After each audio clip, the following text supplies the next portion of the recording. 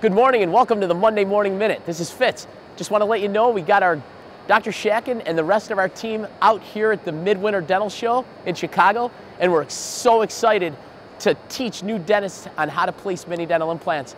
We have our booth right over there, so why don't you come take a tour of the, uh, the booth with me, just so you see what we're doing when we're out on the road and we're not in Buffalo. Come for a walk. You thought there was only one Todd Shatkin. Check this one out. This is our virtual Todd. We never let him leave the booth, and this Todd never has to go to the bathroom. Uh, what we'd like to do is we'd like to talk to you about our upcoming courses in Buffalo. We have a wonderful, wonderful course coming up. It's called our Grand Opening, and it's going to be held in early March on the 7th, 8th, and 9th. So please come over and check out our new facility. Come see the world's largest mini dental implant training facility. It's awesome.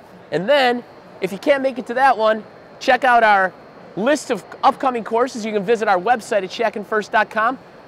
We got a big one on the 11th, 12th, and 13th of April. Dr. Matthew Lasorsa, full day on Saturday of problem solving techniques for using mini dental implants. It's going to be awesome. We'd love to see you. And stay tuned for the next Monday Morning Minute.